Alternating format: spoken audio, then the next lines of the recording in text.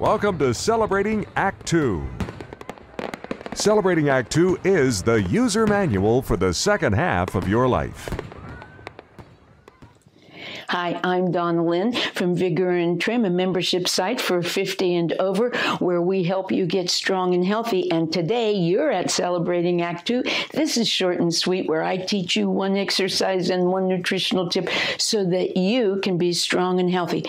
We're going to work on a plank today. Now, you know it takes all of your body to help that plank and hold that plank up. I'm going to show you two ways of adding on to that plank, okay? We're going to challenge it just a little more because once you start getting a, a move and you understand it, then you got to challenge it just a little bit further to keep up that strength and improve your strength. All right. So, hey, let's stop the talking and let's get working. All right. Now we're going to come down on our hands and knees to start. All right.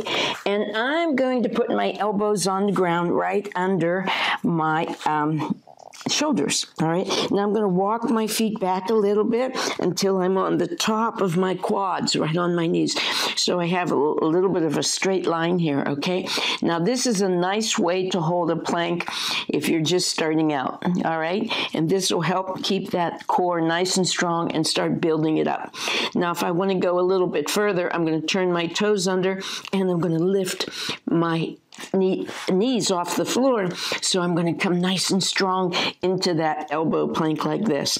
Now, my challenge here, and this is where we're going to advance this, is I'm going to pick up one elbow, put the hand down, pick up the other elbow, put the other hand down.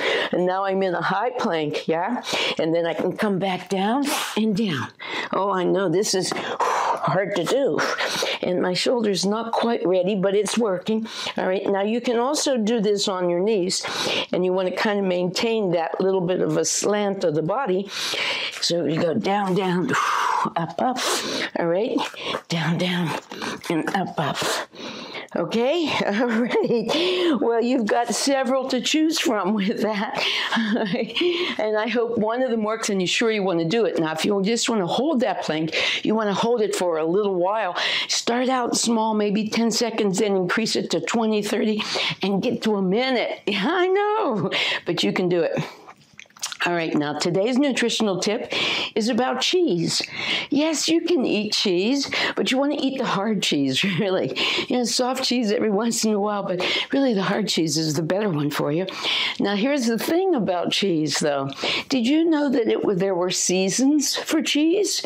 Well, of course, they come from cows, goat, sheep, and those guys graze in one part of the season. It'll be a different kind of uh, uh, grazing situation than in another another, right? Or maybe maybe in the winter they're not grazing and they're just working off of their stored fat, you know. So there's different things that go into making that cheese, and then how they're cured and stuff. So it's really good to kind of look at cheeses in a seasonal way because you get different uh, nutrients from it and from, at different types times of the year. Hope that made sense to you. Anyways, uh, you know I do this to keep you healthy and strong so that you can enjoy those activities as you mature. We want to be really having fun. This is the time we can do that. So I'm Donnalynn. This is Celebrating Act Two, and we're at Short and Sweet. And I hope you really are enjoying your week, and I look for, to see you next time. For more on Celebrating Act Two, visit our webpage, follow us on Facebook, subscribe to us on YouTube and tell your friends. Celebrating Act 2 is the user manual for the second half of your life.